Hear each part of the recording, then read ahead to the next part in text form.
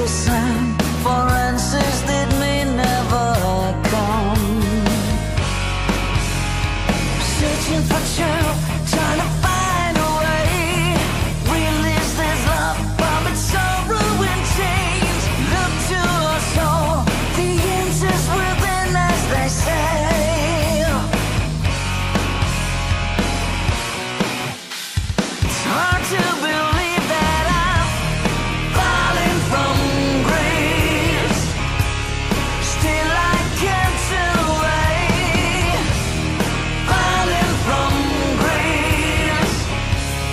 Now